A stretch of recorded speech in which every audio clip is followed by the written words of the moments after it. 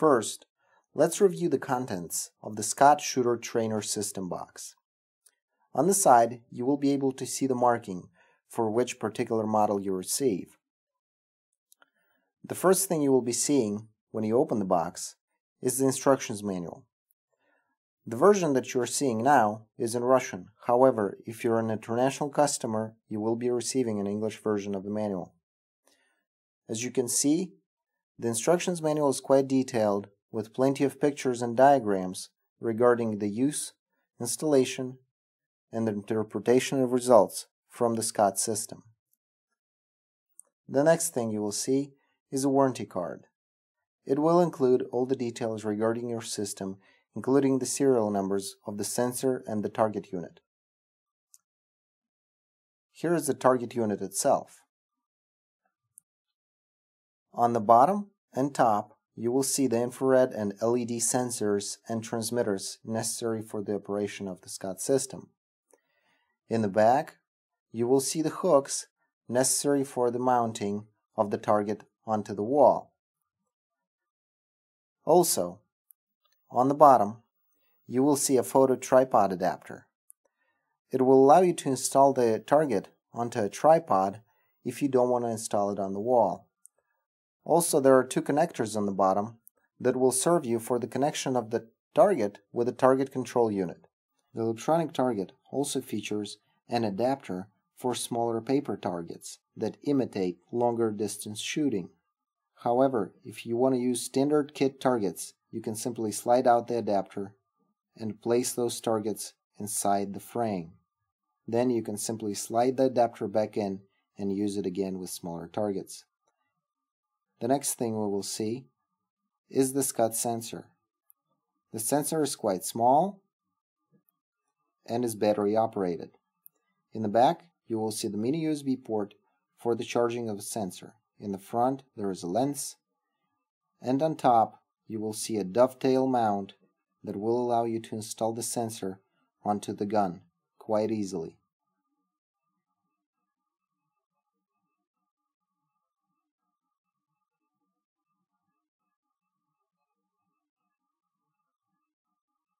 The 45 feet long cable will allow you to connect your target with the target control unit and will allow plenty of space between your computer and your electronic target. Next is the electronic target control unit. The next thing is the cable that connects the target control unit with your PC.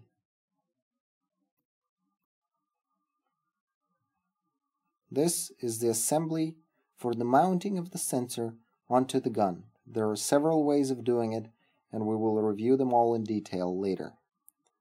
Next is a USB cable used for charging of the sensor. SCATT software CD with the drivers and system software in two pre-printed targets. The targets are dual-sided and designed for different distances and disciplines. However, you will be able to print a variety of targets later on directly from your system. One of the ways of sensor installation is by the means of a barrel insert. However, the first thing that you must remember to do is to make sure your gun is dry and safe to use in order to avoid injuries.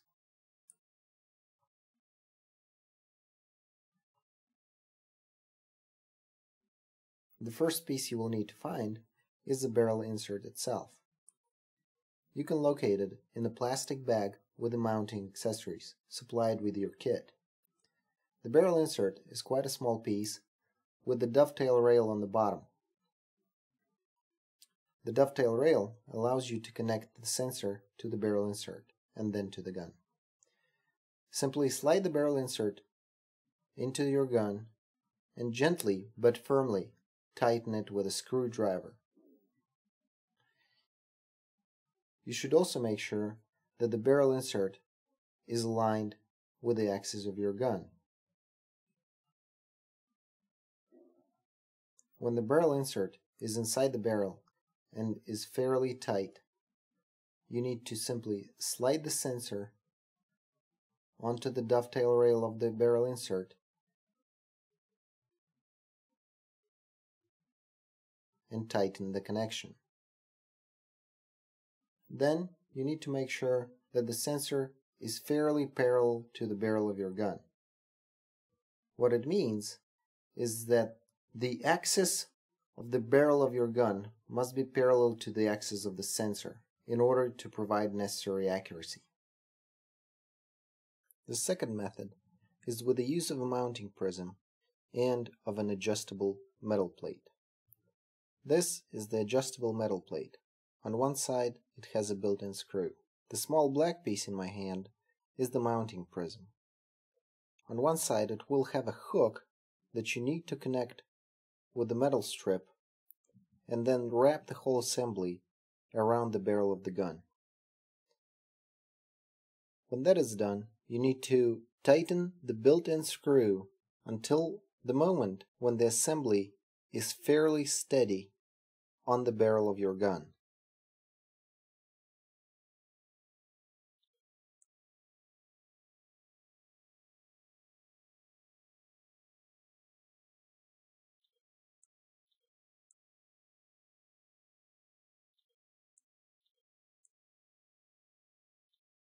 After that, the only thing you have to do is simply slide the sensor onto the dovetail rail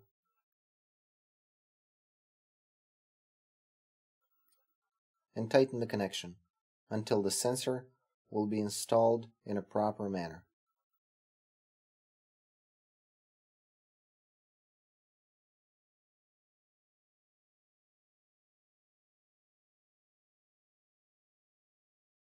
The systems equipped with our WM9 sensors are the simplest in terms of sensor installation. The only thing you need is a 9mm gun and the sensor itself. Simply slide the sensor into the barrel of the gun. Do it gently but firmly. You will need to apply some force.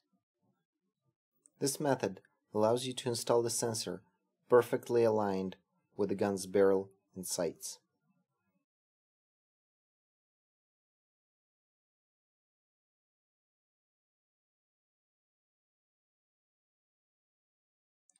In the back of the electronic target, you will see two hooks necessary for the mounting of the target onto the wall. Simply slide the target on two screws that should be drilled into your wall. Next, slide out the adapter and you will be able to place the kit targets into the frame of the target. Slide the kit target into the frame and then connect the target with the cable that will then run to the target control unit and subsequently to your PC.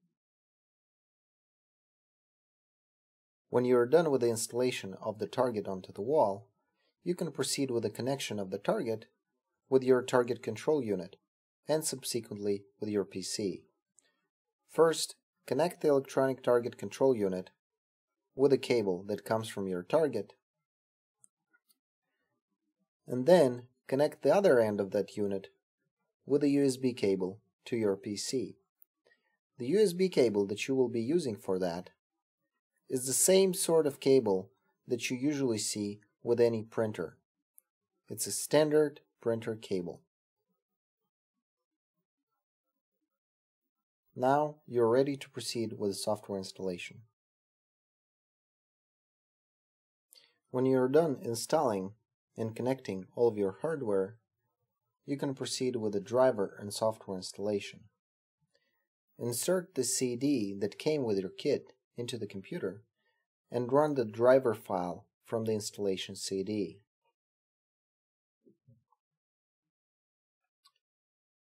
It's a very simple process. Simply click through all the menus until the installation is complete. Accept everything that it asks you to do. Then install the software itself.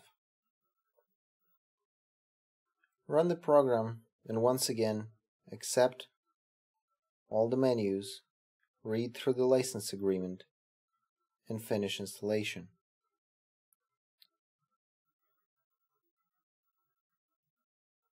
When software installation is over, you can run the SCATT program.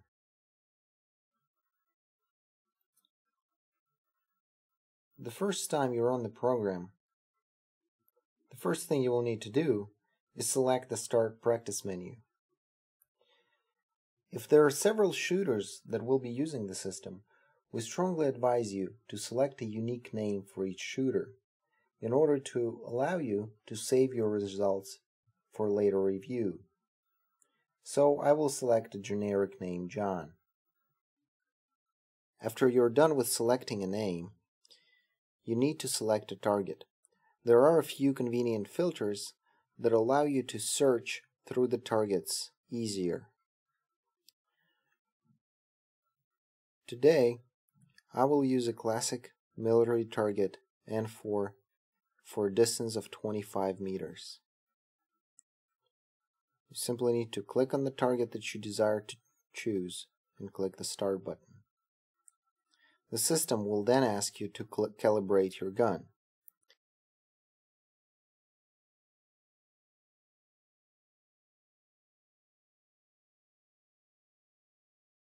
In order to successfully calibrate it, you need to manage to get the marker inside the inner circle of the calibration screen. Finally, I will demonstrate the calibration process in a sample training session.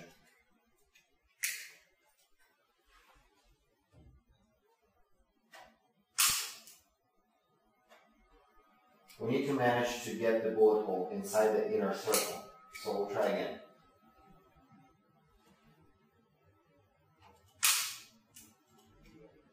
The calibration is successful, you can simply close the calibration window and proceed with your training session.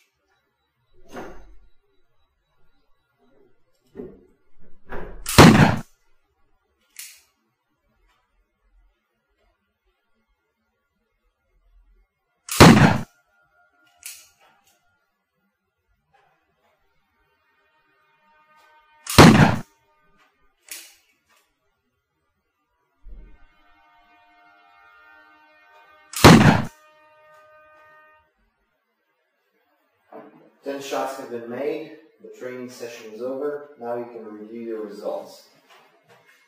In the bottom left corner, you can see the individual score for each individual shot. And in this table, you can see the total scores and review each shot individually. If you press the stub button in the top left corner, you will be able to replay each shot individually. Simply choose the shot that you want and press the replay button. It will allow you to see the entire trajectory before you've made each shot.